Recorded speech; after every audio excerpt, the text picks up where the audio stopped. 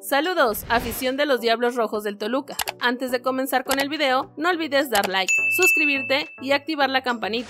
Sin más por el momento, iniciamos y el delantero Pedro Raúl fichado por el Corinthians. El delantero Pedro Raúl del Toluca es fichado por el Corinthians. Esta información fue publicada inicialmente por el portal Meutimao y luego en Radio Band. El acuerdo se cerró por 5 millones de dólares. El pago se realizaría en 5 cuotas. Corinthians poseerá el 100% de los derechos económicos del deportista que llegará a Brasil en los próximos días. Un mensaje de Pedro Raúl marcó su salida. Anteriormente, Pedro publicó un mensaje dando a entender que dejaría al Toluca por eso el jugador escribió y de repente todo salió bien, todo pasó. Esto no es suerte ni casualidad, esto es el momento de Dios. De inmediato la afición del Corinthians tomó esto como una señal de que habría destrabado la negociación entre el Timao y los Diablos Rojos del Toluca para concretar su traspaso. Pedro Raúl no fue convocado para el último duelo del Toluca en la Liga MX ante la Franja del Puebla, debido a que se estaría concretando los últimos detalles de su transferencia al conjunto brasileño por el Toluca en México el delantero centro de Río Grande de Sul disputó 19 partidos, anotando 4 goles y dando una asistencia. Por otro lado, Renato Paiva exhibe a Alexis Vega. El ex de Chivas llegó mal, pese a que la intención de Alexis Vega es jugar con los Diablos Rojos del Toluca en la jornada 4 ante las Chivas. El refuerzo de los Escarlatas no estaría listo para tener participación ante su ex equipo, pues el entrenador de los Choriceros no lo ve con buen estado físico y preferiría no exponerlo. De acuerdo al reporte del periodista de TUDN, Marco Cancino, Alexis Vega no lograría estar a punto para tener minutos en el partido del próximo martes en el estadio Akron, encuentro donde se enfrentaría a su ex equipo. Alexis Vega contra Chivas. No, no va a estar contra Chivas, todavía no está listo físicamente, comentó Cancino. Tras la intervención de Cancino, el analista Emanuel Villa apuntó que Alexis no tendría fácil ganarse un sitio en el once titular de los Diablos, pues tendría que competir con el Takeshi Meneses, reprochando la falta de profesionalismo de Vega, pues es suponía que debía de estar entrenando de manera particular para llegar en un mejor estado físico al Toluca o cualquier otro club que lo hubiera fichado. Fue Renato Paiva quien exhibió el mal estado físico en el que llevó Alexis desde Chivas, revelando que el jugador necesita de fortalecimiento muscular y mejorar su estructura física para que pueda demostrar su calidad dentro del campo. Alexis está en un trabajo de fortalecimiento muscular y le estamos dando estructura física para que él pueda poner su calidad técnica y táctica. Entonces no vamos a arriesgar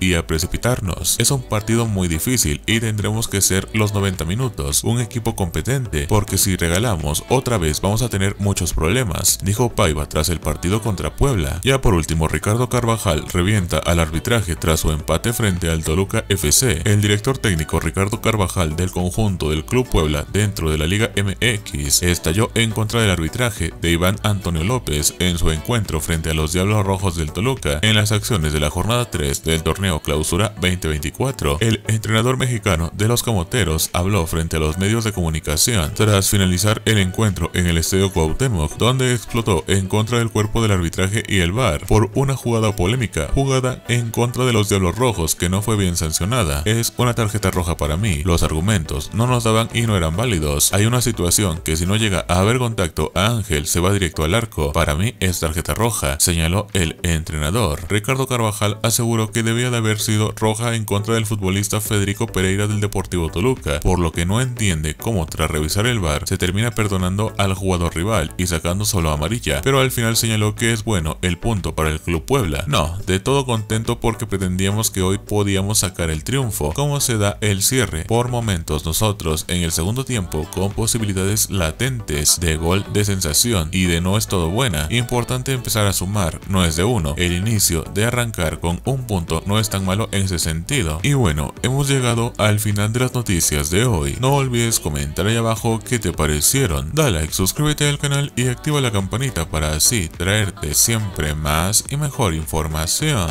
Hasta la próxima.